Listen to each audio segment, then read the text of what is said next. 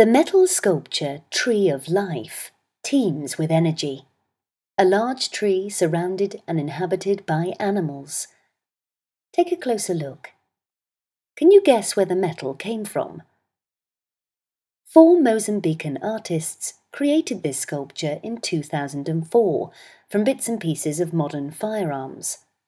They were working with transforming arms into tools, a project to dispose of 7 million guns left in Mozambique after the country's civil war, by recycling them into art.